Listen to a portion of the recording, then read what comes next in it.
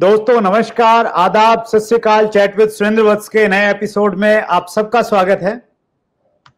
अब से पहले दो बार हम डॉक्टर कमल कांत वशिष्ठ जी से मिल चुके हैं, जो सुलिनी यूनिवर्सिटी में डायरेक्टर ई लर्निंग है, एसोसिएट प्रोफेसर हैं, और हिंदुस्तान में डायरेक्ट सेलिंग पे पीएचडी करने वाले जो चुनिंदा लोग हैं, उनमें से एक हैं।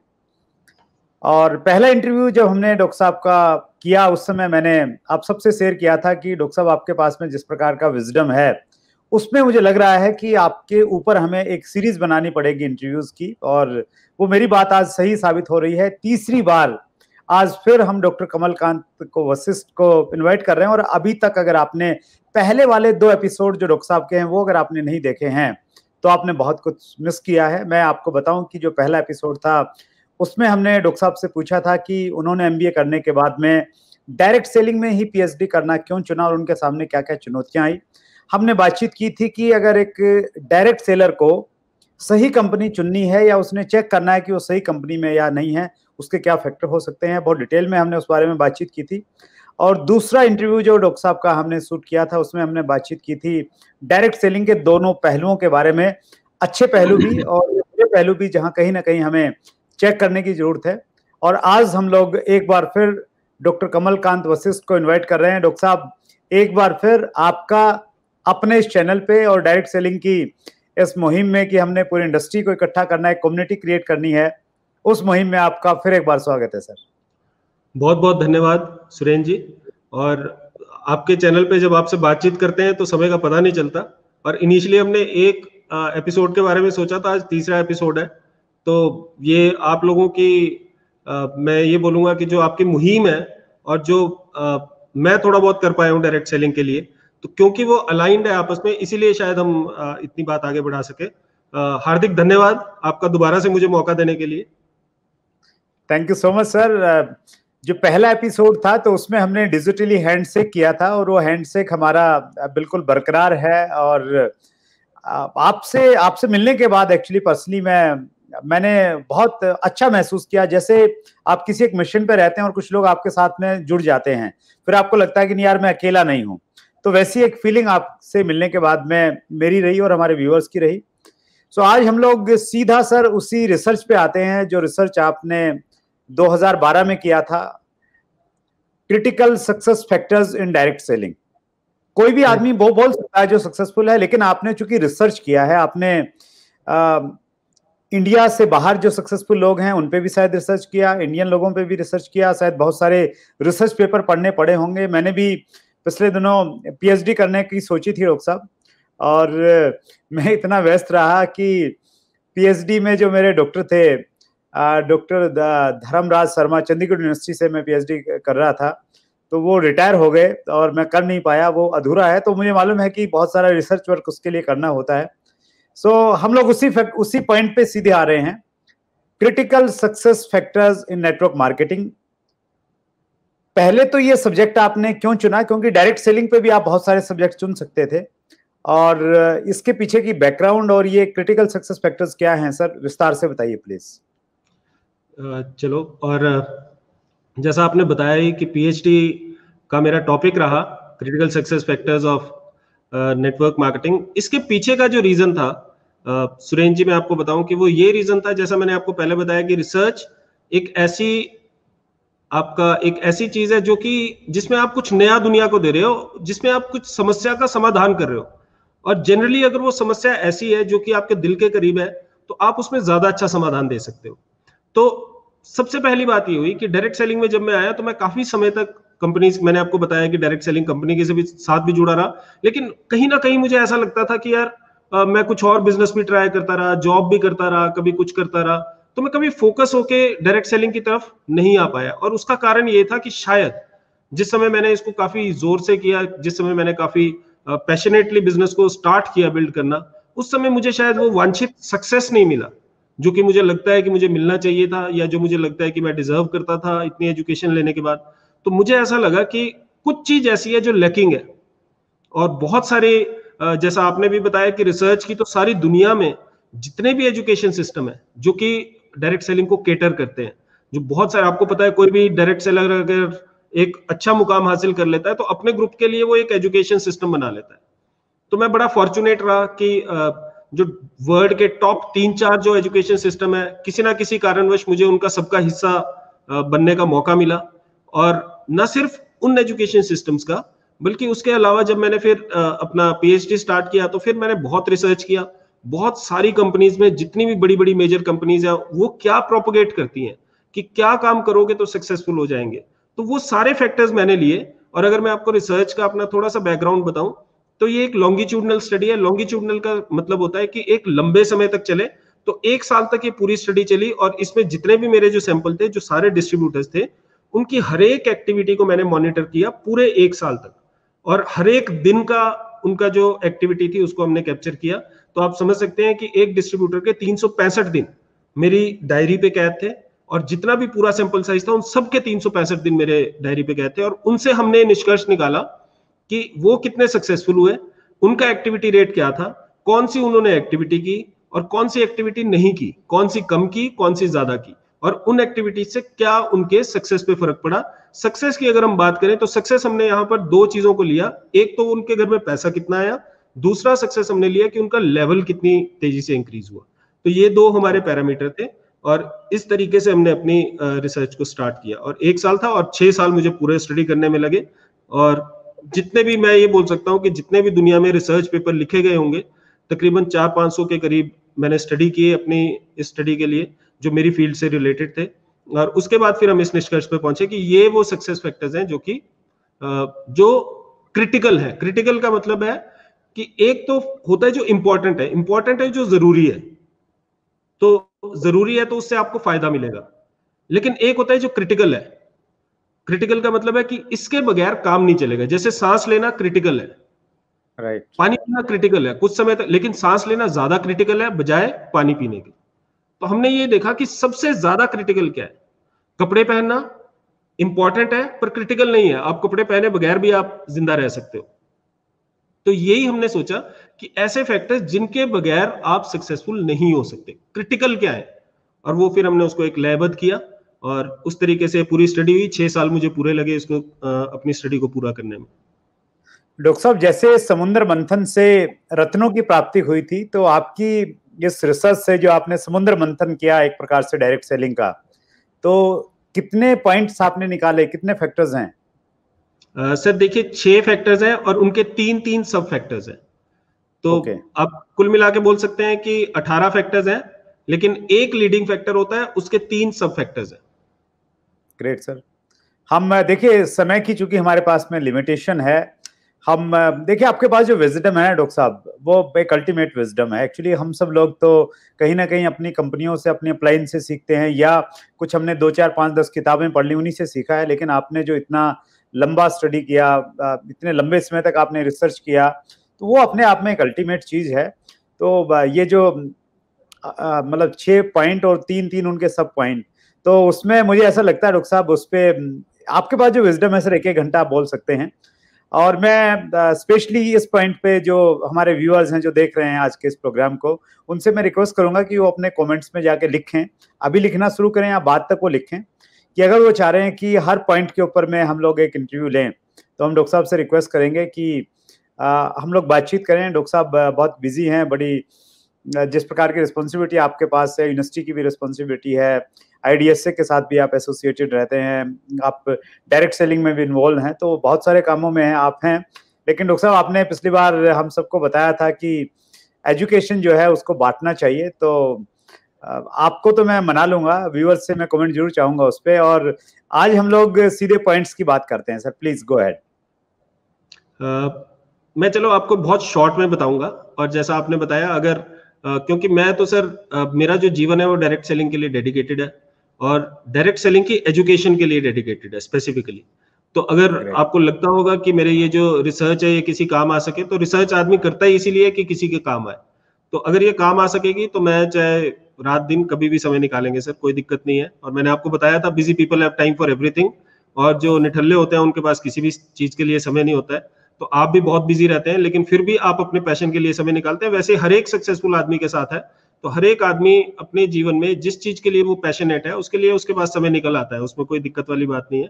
तो ज़रूर करेंगे। मैं आपको सीधा पॉइंट पे लेके चलता हूँ। छह पॉइंट्स जो हमने निकाले थे सबसे पहले आ, मैं आपको बताता हूँ जो सबसे पहला प्राइमरी पॉइंट है डायरेक्ट सेलिंग का जो बहुत क्रिटिकल पॉइंट है वो होता है वॉल्यूम कि आप कितना वॉल्यूम कर रहे हो।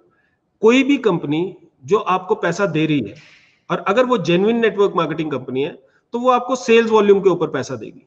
कोई भी कंपनी अगर सेल्स वॉल्यूम के अलावा किसी भी चीज़ पे पैसा बांट रही है तो वो डायरेक्ट सेलिंग गाइडलाइंस के अगेंस्ट है। तो जो पैसा आएगा, वो सिर्फ़ और सिर्फ़ वॉल्यूम से आएगा। ना वो कोई मेंबरशिप से आएगा, ना वो किसी और चीज़ से आएगा, है ना? ना वो कोई समय से आएगा कि इतने समय तक आप रहोगे तो आपको पैसा आ जाएगा, इतने मेंबर बनाओगे तो ये चीज़ें नहीं है। सिर्फ़ सेल्स पे पैसा मिलेगा, वॉल्यूम पे पैसा मिलेगा। ये समझना बड़ा ज़रूरी है। वॉल्यूम कैसे आएगा? सबसे पहली चीज़, हंड्रेड परसेंट यूज़ करना है, आपने प्रोडक्ट को यूज़ करना है। जो प्रोडक्ट है उसको आप खुद यूज़ कीजिएगा। अगर आप खुद यूज़ नहीं कर सकते तो वो प्रोडक्ट यूज़ करने लायक नहीं है। अगर वो प्रोडक्ट यूज़ करने लायक नहीं है तो डायरेक्ट सेलिंग में वो चल नहीं सकता। Product quality is the number one factor when we talk about direct selling direct selling में प्रोडक्ट की क्वालिटी आपके बिज़नेस की रीढ़ की हड्डी है। राइट दूसरी बात वॉल्यूम कहाँ से आएगा? दूसरा वॉल्यूम आता है सेल करने से सेलिंग करने से रिटेल करने से।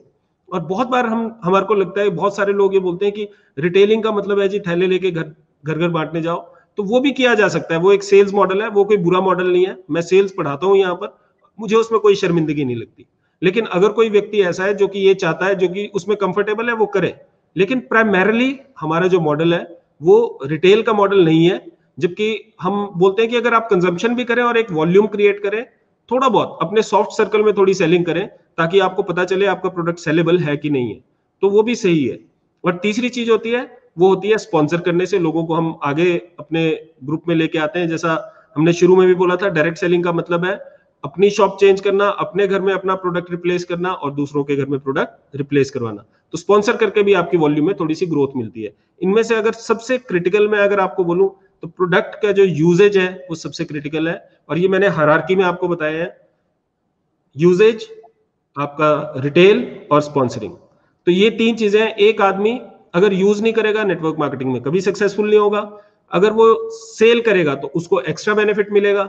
और अगर वो स्पॉन्सर करेगा तो वो बड़े से बड़े पायदान पे जा सकता है। तो पहला सक्सेस फैक्टर है sales volume right sir yes sir जो दूसरा जो सक्सेस फैक्टर है और जो कि भी बहुत ज़्यादा इंपॉर्टेंट है वो है एसोसिएशन और अगर मैं आपको अपनी पूरी रिसर्च की बात बताऊँ तो उसमें जो सिंगल मोस्ट क्रिटिकल फैक्टर निकल के आया वो था मीटिंग्स और जिसको हम एसोसिएशन बोलते हैं। तो एसोसिएशन सेकंड फैक्टर है। एसोसिएशन किस तरीके से होगी? पहली एसोसिएशन होती है मीटिंग्स के ज़रिए।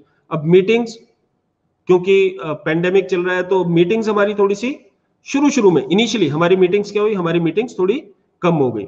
और हमें लगता था कि यार मीटिंग्स ही जान है बिज़नेस की। क्योंकि वहाँ पर हम एसोसिएट होते हैं, वहाँ हमें बड़े लीडर्स दिखते हैं, है ना? तो लेकिन अब क्या हुआ? अब जूम के माध्यम से दुनिया बड़ी सिकुड़ गई है और चेंज हो गया सारा का सारा, सोच चेंज होगी। और हमें ये समझ में आ गया कि बड़े हॉल्स की ज़रूरत नहीं है इफ़ेक्टिव मीटिंग्स के लिए। टेक्नोलॉजी से भी वो संभव है। तो चीज़ें चेंज हुई हैं, लेकिन बेसिक्स वही रहते हैं। एसोसिएट तो करना पड़ेगा। अगर आप अपने सक्सेसफुल लोगों के एसोसिएशन में नहीं हो, ऐसे लोगों की एसोसिएशन में नहीं हो जो कि बिज़नेस के लिए प्रो है तो आपको ऐसे लोग मिलेंगे जो बिज़नेस के एंटी हैं और आस्ता आहिस्ता वो आपको भी धरातल पे ले जाएँगे। एसोसिएशन सेकंड फैक्टर है, जिसके सब फैक्टर्स क्या है? पहला मीटिंग्स चाहे वो टेक्नोलॉजिकल मीटिंग्स हो, चाहे वो वन ऑन वन मीटिंग्स हो। दूसरा होता है ऑडियो विजुअल्स आपके जो प्रोग्राम देखते हैं, उनको डायरेक्ट सेलिंग के बारे में बहुत अच्छा उनको जानकारी मिलती होगी। और इसमें भी मैं आपको एक थोड़ा सा क्लियर करना चाहूँगा कि बहुत सारे ऐसे लोग हैं, आज के समय में आप, मैंने आपको पिछले एपिसोड में भी हमारी बात हुई थी, बहुत सारे ऐसे लोग हैं, जो कि नेटवर्क मार्केटिंग के बारे में कुछ भी बोल रहे हैं। और पता नहीं कहाँ कहाँ से वो जानकारी इकट्ठी लेके आते हैं और वो सुपर कोच सुपर पता नहीं कौन कौन से चीफ मोटिवेटर कुछ ऐसे बन जाते हैं और थोड़े समय बाद वो कुछ और ही बातें करने लग जाते हैं। तो इन लोगों को मत देखिए है ना? मतलब आप क्या देख रहे हैं? ऑडियो विजुअल भी आप क्या देख रहे हैं? इसके ऊपर भी आपका कंट्रोल होना चाहिए। आपके अपने ग्रुप में भी वही परोसो आप। और आपका कंट्रोल होना चाहिए कि आपका आपका जो ग्रुप है आपका जो नेटवर्क है वो क्या देख रहा है। तो आपका चैनल है जैसे मैं बड़ा हाईली रिकमेंड करता हूँ सभी को क्योंकि आप कभी भी आप इंडस्ट्री की बात करते हो, आप एक अच्छी बात करते हो, है ना? और भी बहुत सारे ऐसे चैनल्स हैं जो बहुत अच्छी बात करते हैं।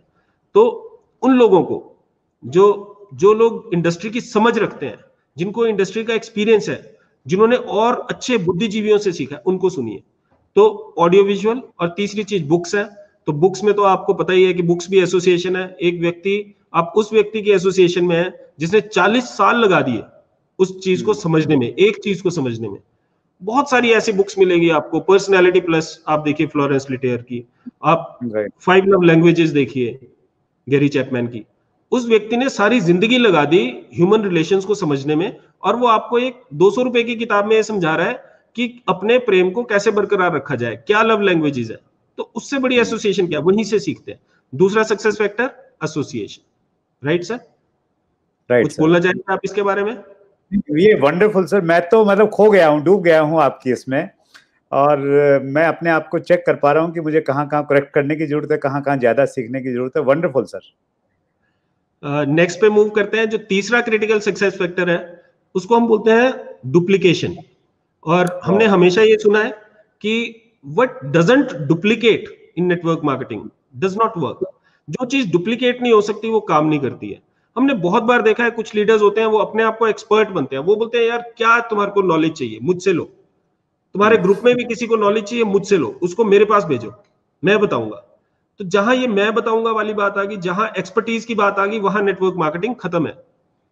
क्योंकि आप जो बता सकते हैं अगर वो दूसरा नहीं बता सकता तो आपने उसकी लाइफ में डुप्लीकेशन क्रिएट नहीं किया। आप जो ये बिज़नेस है नेटवर्क मार्केटिंग का सर इसको क्या बोला जाता है? वत्स साहब आपको पता है?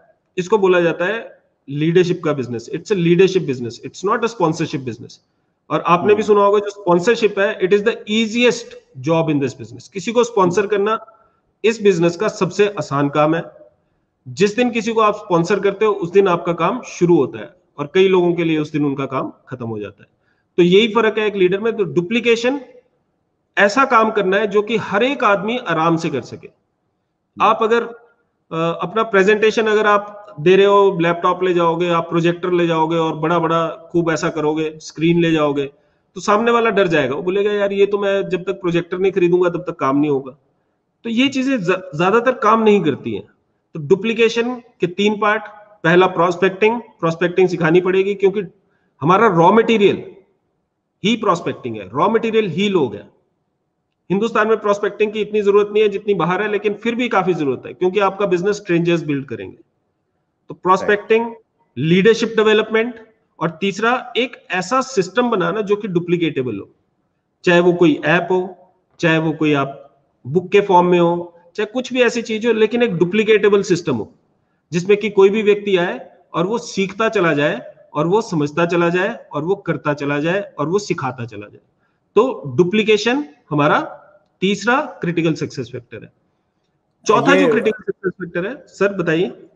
जी जी, मैं मैं एक्चुअली इससे बहुत रिलेट करता हूँ और मेरा ऐसा मानना है कि इंडस्ट्री में कहीं ना कहीं इस सब्जेक्ट पे जितनी बात होनी चाहिए, उतनी शायद लोगों ने नहीं की है। और मुझे याद आ रहा है, मैंने सिद्धार्थ सिंह जी का एक इंटरव्यू लिया था और उस इंटरव्यू में चूँकि सिद्धार्थ सिंह ने बहुत सारे लीडर्स क्रिएट करे तो वो पूरा इंटरव्यू मैंने इसी चीज़ पे फोकस किया था डुप्लीकेशन पे कि डुप्लीकेशन कैसे तैयार किया जा सकता है।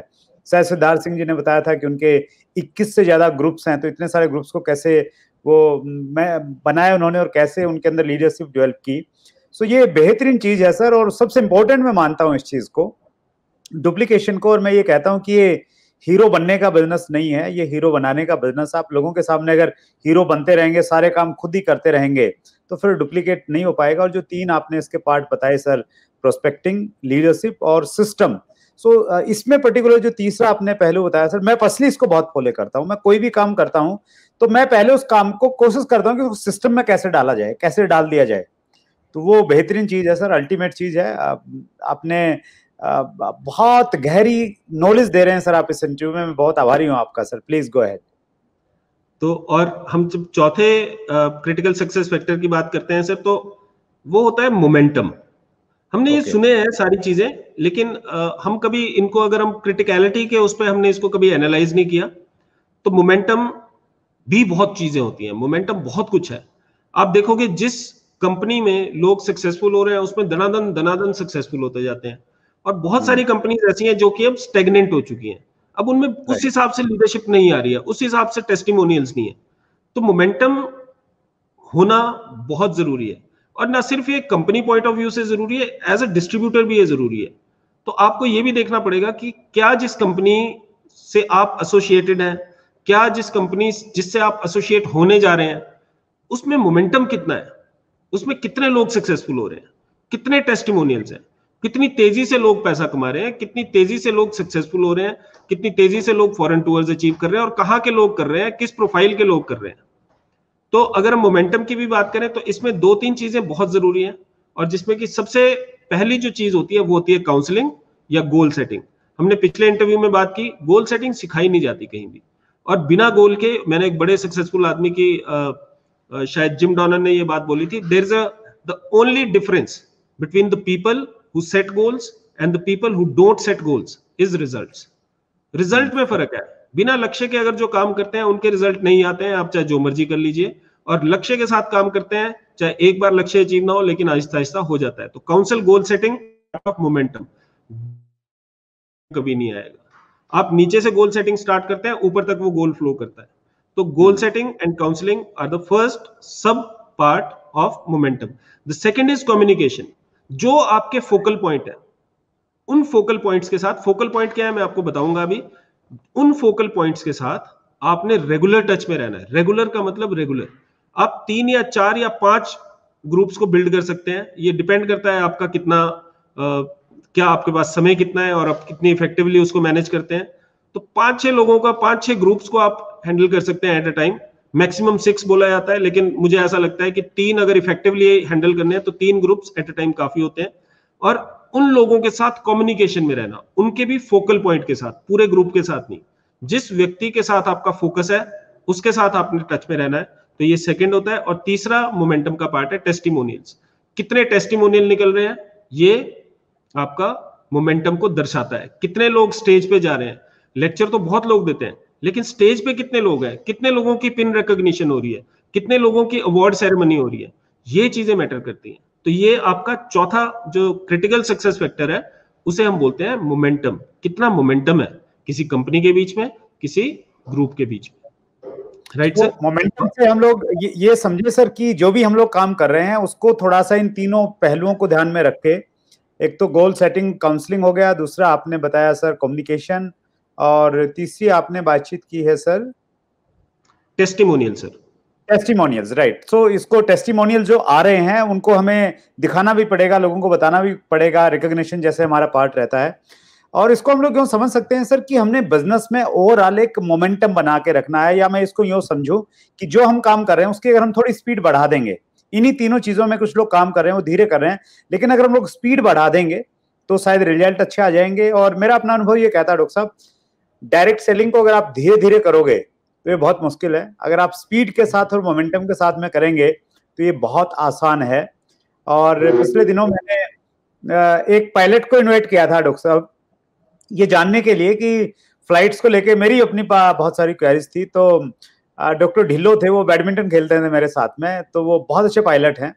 तो उनको मैंने इनवाइट किया और एक इंटरव्यू लिया उनका पूरा का पूरा चैटविद सुरेंद्र बस में प्लेलिस्ट में है वो। तो उन्होंने बोला कि जहाज़ के लिए जो सबसे फेवरेबल चीज़ है ना, वो है उसकी स्पीड ऊपर जाने के बाद जहाज़ जितनी हाइट पे होगा जितनी स्पीड में आप उसको चलाएँगे तो वो उसके लिए उतनी ही अच्छी है, उतनी ही फेवरेबल है। सो मैंने वहाँ से रिलेट किया कि डायरेक्ट सेलिंग में भी अगर आप सही डायरेक्शन तो होनी चाहिए लेकिन सही डायरेक्शन के साथ आप मोमेंटम और स्पीड के साथ में करते हैं तो यहाँ पे भी हम लोग बहुत आगे बढ़ सकते हैं। वंडरफुल सर एग्जैक्टली सर तो ये चौथा सक्सेस फैक्टर था और जो पांचवा सक्सेस फैक्टर है सर ये एक ऐसा सक्सेस फैक्टर है जो कि पहली बार निकल के आया। मतलब ये आज से पहले था नहीं। किसी भी जगह में किसी भी उसमें था नहीं लेकिन स्टडी के दौरान ये निकल के आया और ये सक्सेस फैक्टर है मेज़रमेंट कि जो हम okay. काम कर रहे हैं मोमेंटम कैसे आएगा? जो हम काम कर रहे हैं उसको मेजर करना ज़रूरी है कि हमने कितना काम किया आप किसी भी और ट्रेडिशनल जो फ्रेमवर्क है उसकी बात करें हर रोज डीएसआर डेली सेल रिपोर्ट हर एक सेल्समैन भरता है। इसी तरीके से टूर एंड ट्रेवल का सारा प्लान बनता है वो सभी लोग भरते हैं। लेकिन हमारे इसमें कोई ऐसा जर्नल नहीं है जिसको लोग भरते हैं। और जो लोग भरते हैं वो सक्सेसफुल होते हैं। अगर आप अपना प्लानर भर के रखते हो तो हंड्रेड परसेंट आप सक्सेसफुल होंगे। और कोई भी ऐसा सक्सेसफुल आदमी नहीं है जो बिना प्लानर के सक्सेसफुल हुआ हो, जिसका अपना दिन जो प्लान नहीं करता तो वो सक्सेसफुल हो नहीं सकता। तो मेज़रमेंट क्योंकि जनरली जैसा हमने शुरू में भी बात की थी नेटवर्क मार्केटिंग का एक जो नेटवर्क मार्केटिंग की कमी भी नहीं बोल सकते हम, और इसकी खूबी भी है, कमी भी है कि कोई एंट्री बैरियर नहीं है, कोई एग्जिट बैरियर नहीं है, और बहुत सारे ऐसे लोग आते हैं जो रातों रात अमीर बनना चाहते हैं, और उनको लगता है कि यार मैं तो बड़ा काम कर रहा हूँ, लेकिन वो काम कर नहीं रहे होते हैं। तो काम कर रहे हैं कि नहीं कर रहे हैं, ये किस चीज़ से पता चलता है? ये इस चीज़ से पता चलता है जब तक आपने वो लिखित में नहीं होगा। कितने प्लान दिखाए हैं? कितने का आपका सेल हुआ है? कितने दिन आपने ऑडियो वीडियो अच्छा देखा है? कितने दिन आपने किताब पढ़ी है? कितने दिन आपने कम्युनिकेशन किया है अपने डाउनलाइंस के साथ? तो ये सारी चीज़ें गोल सेट किया है कि नहीं किया है? किया है तो क्या है? जब तक और जो गोल सेट किया था वो अचीव हुआ कि नहीं हुआ? कितना गैप रह गया? आपके ग्रुप में कितना गैप रह गया? तो जब तक ये मेज़रमेंट नहीं होगी तब तक नेटवर्क का बढ़ना थोड़ा सा मुश्किल है। और मेज़रमेंट में ही सबसे पहली बात क्या मेजर करना है और क्यों मेजर करना है ये आपको पता होना चाहिए। दूसरी बात एक चीज़ होती है जो कि एक नया कंसेप्ट है जो कि अपनी पीएचडी में मैंने क्वाइन किया है इसको हम बोलते हैं नेटवर्क लूप और ये मैंने बड़ा क्लोजली ऑब्ज़र्व किया। एक आधा इसका रेफरेंस मेरे को रिसर्च में भी मिला और लेकिन इसका कोई टर्म नहीं थी तो हमने इसको टर्म दिया नेटवर्क लूप अब नेटवर्क लूप क्या होता है? एक व्यक्ति होता है वो जैसे ही बिज़नेस में आता है, वो उसके बाद वो दो तीन महीने के अंदर अपने पाँच छह लोगों को स्पॉन्सर कर देता है या तीन चार पाँच छह लोगों को स्पॉन्सर कर देता है। और उसके बाद वो सारी ज़िंदगी उनसे आगे कभी किसी और से बात नहीं करता। वो उसी से पूछता है हाँ जी ए आप बताओ, आपके ग्रुप में क्या हो रहा है? इस महीने का क्या गोल है? ये क्या है? वो क्या है? फिर बोलता है बी बी बताओ, तुम क्या है? तो ए बी सी डी से आगे वो कभी जाता ही नहीं है। और वो उसी लूप में फंसा रहता है। जो उनसे अगले हैं वो अपने लूप में फंसे रहते हैं वो उस लूप को तोड़ना बड़ा ज़रूरी है। और एक मैंने बड़े सक्सेसफुल आदमी की बात सुनी थी वो बोलते हैं नेटवर्किंग की स्पेलिंग होती है D E P T H depth depth build करनी पड़ेगी। नए लोगों के अच्छा। साथ आपको बात करनी पड़ेगी।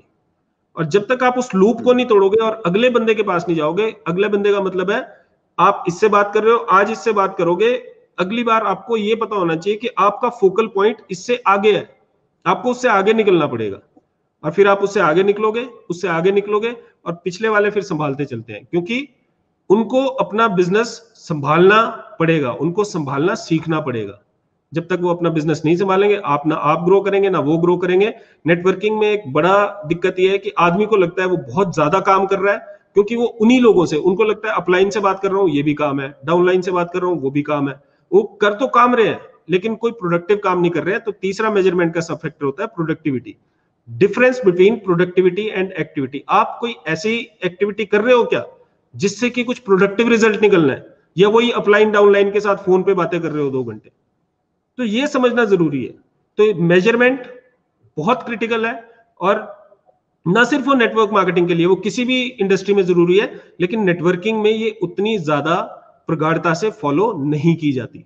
तो measurement is the fifth critical success factor wonderful sir मैं इसमें थोड़ा सा एड ऑन करना चाहूँगा। पिछले दिनों सर मैं एक बहुत सक्सेसफुल व्यक्ति से मिला। He is from Kerala mister Ranjit तो उन्होंने फ़ोन उन्होंने दुबई में काम किया सर पंद्रह साल तक। बहुत अच्छी जॉब में थे वो। फिर वो डायरेक्ट सेलिंग में आए और वो बहुत जल्दी उन्होंने एक बड़ा अच्छा मुकाम हासिल किया।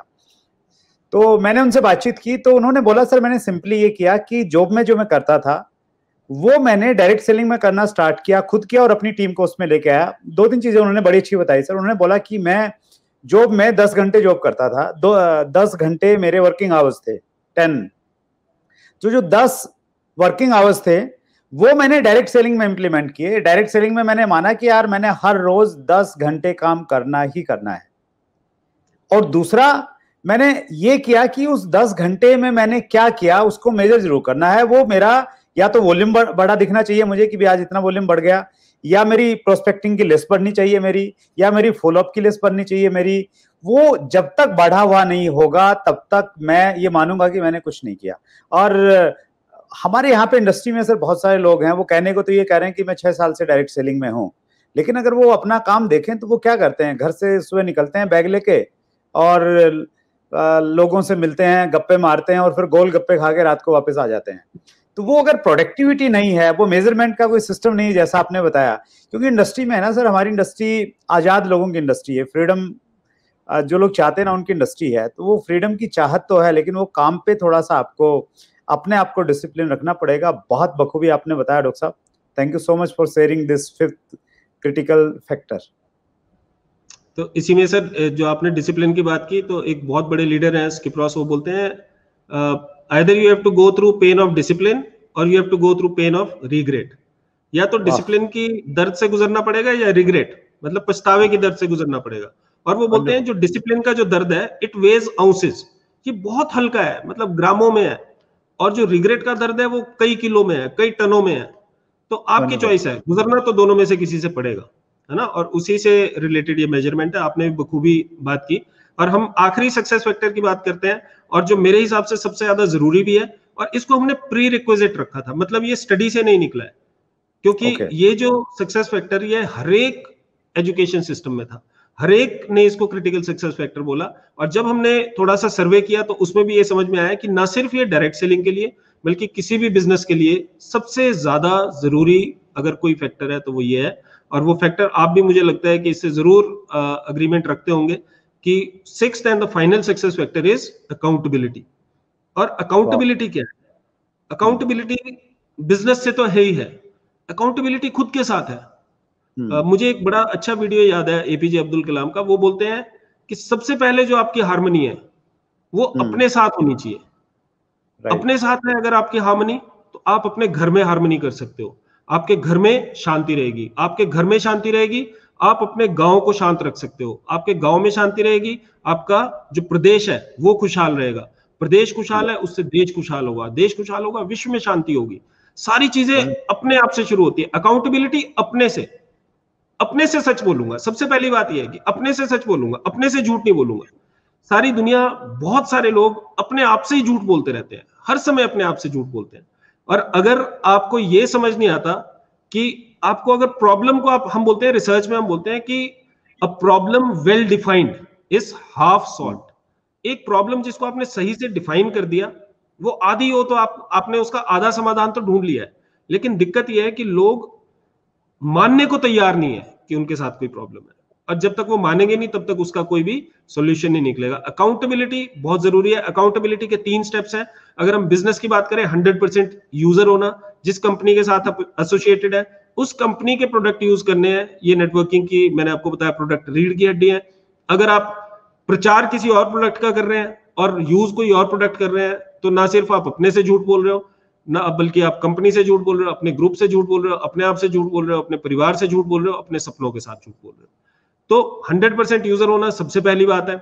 दूसरी बात है, आपको थोड़ा सा इंडिपेंडेंट होना पड़ेगा, अपने डिसीज़न खुद लेने पड़ेंगे और निर्भर नहीं होना पड़ेगा। मैं आपको एक बड़ी छोटी सी स्टोरी सुनाता हूँ सर अकाउंटेबिलिटी की। मेरे जो अपलाइन थे उनका नाम था कर्नल राजेश्वर जिन्होंने मुझे बिज़नेस सिखाया शुरू में। और कर्नल थे उन्होंने अपना रिटायरमेंट ले लिया प्री मेच्योर और फुल टाइम वो बिज़नेस स्टार्ट किया उन्होंने डायरेक्ट सेलिंग तो वो सिखाते थे। तो हम उनके ऊपर डिपेंडेंट रहते थे। हम वेट करते रहते थे। हम मीटिंग्स असाइन करते हैं बोलते थे कर्नल साहब आएँगे तो वो मीटिंग करेंगे।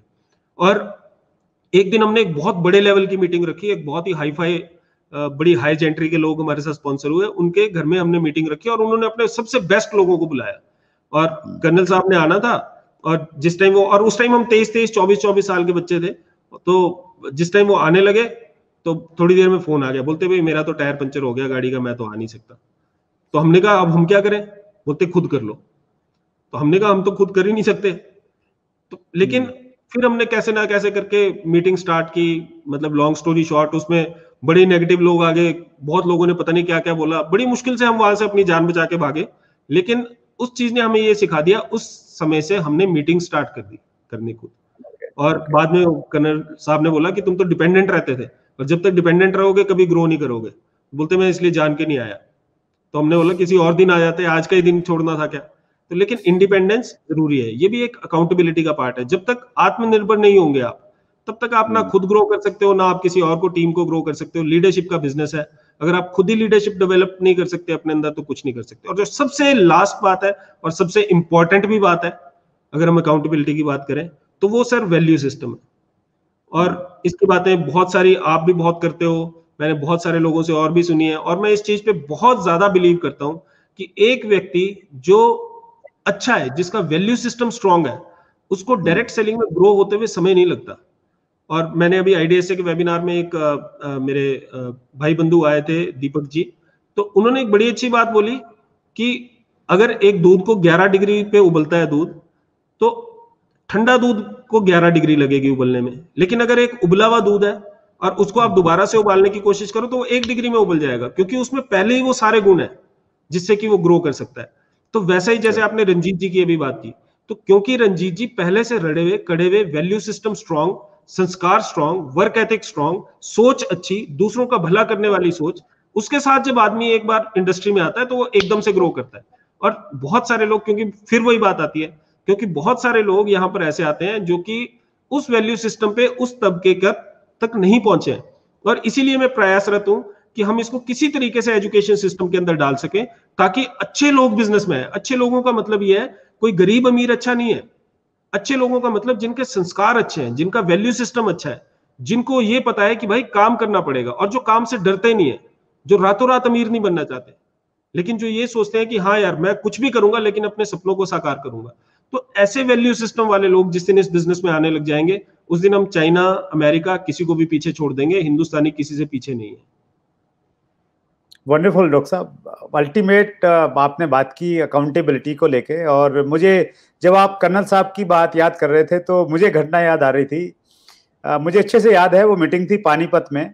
पानीपत में हाईवे पे इंडिया हरियाणा टूरिज़्म का एक रिसोर्ट है स्काई लार्क और अक्सर जो हाईवे पे चलने वाली बसेज वहाँ पे रुकती हैं। तो स्काई लार्क में हमने मीटिंग की शुरुआत की थी डायरेक्ट सेलिंग की 2000 2001 की बात है शायद ये। तो हमारे प्लाइन ने आना था जयपुर से। तो उनसे रेगुलर बातचीत हुई कि हाँ ठीक है, मैं जयपुर से निकल गया हूँ, करनाल बाईपास पहुँच गया हूँ तो बस मैं आने वाला हूँ। और फाइनली उन्होंने ये बोला कि भाई, गाड़ी में पंचर हो गया है और मैं आने की स्थिति में नहीं हूँ। हमने कहा कि सर, हम वेट कर लेते हैं थोड़ा सा लोगों को तब तक बैठा के रखते हैं। तो फाइनली उन्होंने बोला कि नहीं नहीं, अभी आने वाली स्थिति नहीं है, बिल्कुल ब्लास्ट हो गया है टायर और बिल्कुल ये तो टायर भी चेंज करना पड़ेगा और हो नहीं पाएगा। तो डॉक्टर साहब, हम इतना घबरा गए उस समय कि अब क्या होगा, लोग आए हुए हैं और बड़ी मुश्किल हो जाएगी। तो जैसे तैसे हमने भी अपना काम पूरा किया, ड्यूटी पूरी की कि भाई आना था, आ नहीं पाए। और वो एक बड़ा सबक मिला और उस दिन हमने भी मतलब बोर्ड पे खड़ा होना शुरू किया था तो शायद उसके बाद में वो टर्निंग पॉइंट बनाया और मुझे लग रहा है कि ये सारे अप्लाइंस ऐसा करते हैं, ये एक टेक्निक है, इसको इस्तेमाल किया जाता है। बेहतरीन तरीके से डॉक्टर साहब आपने बताया और आपका जो छः सालों का रिसर्च है सर, वो आपने इन तीस मिनटों में हमें दिया। बेहतरीन तरीके से दिया आसान भाषा में दिया। हम बहुत आपके आभारी हैं डॉक्टर साहब और मैंने व्यूवर से बीच में बोला था कि आप कमेंट्स में ज़रूर लिखिए अगर आप चाहेंगे डॉक्टर साहब से हम रिक्वेस्ट करेंगे और हम लोग कोशिश करेंगे कि ये जो छह फैक्टर्स हैं उन पे तो कम से कम एक वीडियो तो हम बनाए ही बनाए। जो तीन सब फैक्टर हैं उन, उन पे भी हम लोग जा सकते हैं क्योंकि आपका जो ये खजाना है ना सर जो अनुभव और जो समय आपने दिया है ये इंडस्ट्री के बहुत काम का समय है। और चूँकि आपको बोल रहे हैं, एक ऐसा व्यक्ति बोल रहा है जिसने यूनिवर्सिटी को, ने जिसको डिग्री दी है पीएचडी वो अपने आगे अपने पीछे लगा सकता है डॉक्टर अपने नाम के आगे लगा सकता है। और एक ऐसा व्यक्ति जो इस इंडस्ट्री को जीता है इंडस्ट्री के प्रति इतनी अच्छी सोच रखता है, सो वो बात और ज़्यादा मीनिंगफुल हो जाती है। सो एक बार फिर डॉक्टर साहब, पहले एपिसोड के लिए, दूसरे एपिसोड के लिए और आज इस तीसरे एपिसोड में समय देने के लिए हम पूरे चैट विद सुरेंद्र वत्स के व्यूअर्स की तरफ़ से, हमारे ब्रांड एम्बेसडर्स की तरफ़ से, सभी की तरफ़ से दिल की गहराइयों से बहुत बहुत आभार प्रकट करते हैं। Thank you so much doctor साहब। आभार आपका सुरेंद्र जी, और अनंत जी का भी मैं ज़रूर आभार प्रकट करना चाहूँगा, जिन्होंने की मुझसे सबसे पहले कांटेक्ट किया था। और बहुत अच्छी टीम है आपकी, बहुत अच्छा आप काम कर रहे हैं, बहुत लगन के साथ आप काम कर रहे हैं। मेरी बहुत बहुत शुभकामनाएँ जब भी कभी मेरी ज़रूरत होगी तो हम मिलजुल के काम करेंगे। और बड़ा करेंगे और इस सपने के लिए आपके साथ भी एक सपना छोड़ के जा रहा हूँ, अपने चैनल के माध्यम से भी।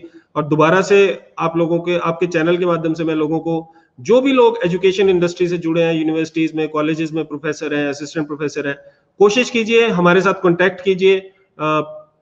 आपको कॉन्टैक्ट डिटेल्स कहीं भी मिल जाएँगे, आप फेसबुक पे ढूंढे, कहीं भी मिलेंगे, हम मिल जाएँगे। और हम मिलजुल के डायरेक्ट सेलिंग को अकेडमिक्स के अंदर लेके आएँगे।